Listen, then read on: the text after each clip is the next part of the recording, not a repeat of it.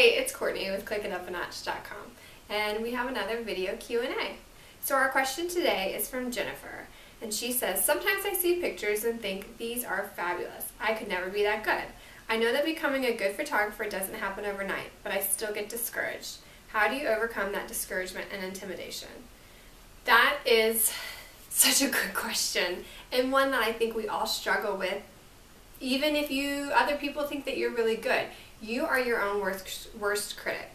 You are always going to be critiquing your images harder than everyone else's, and that's a good thing. That's what helps push you to grow. So when you are starting out, it's really easy to look at other people's work and think, oh, I'm never going to be that good. Don't look at their work. Focus on yours, okay? They all started somewhere too. They just may have started a couple years before you, so they have a head start. So don't compare yourself to other people and their work. That will definitely keep you feeling discouraged. So stop doing it. Also, you know, just keep keep trying, keep trucking along, I keep thinking, but keep just trying to do it. Keep taking pictures every day. Keep photographing everything you see. Look for good light. Look for good composition. Um, read everything you can on photography and go practice it, okay? Um, you're always going to feel intimidated if that's what you're focusing in on. So don't focus in on that. Focus on your own work and what you can do to improve it. And you will get to where you want to be. One of the best things I did for my photography, I've mentioned it many times, is do a three Project 365.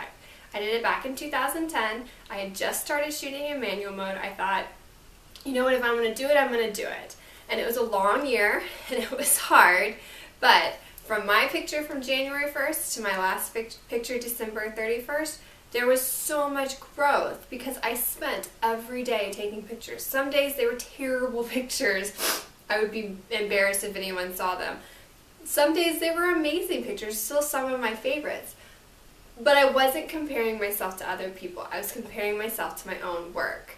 Um, there's a quote out there somewhere, I don't know who said it, but it says, like, the only photographer you should compare yourself to is yourself. And if you do that, you will your intimidation will be gone. Your discouragement will be gone. When I look back at those pictures from 2010, I'm like, holy cow, I'm amazing. Because look at my growth.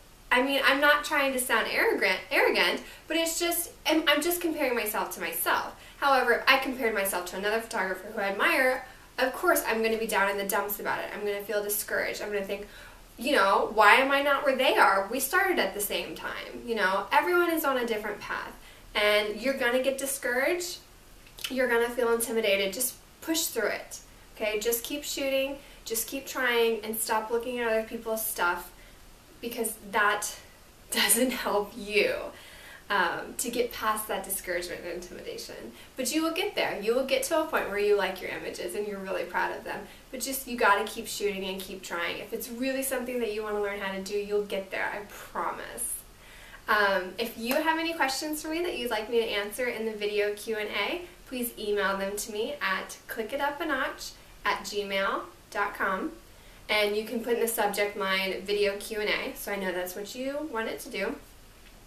And while you're here, be, please subscribe to my YouTube channel so that you'll be the first um, to find out about videos. I'm thinking about doing some videos just for the YouTube subscribers, so you don't want to miss out on those. And as always, if you have any questions, please let me know. Thanks.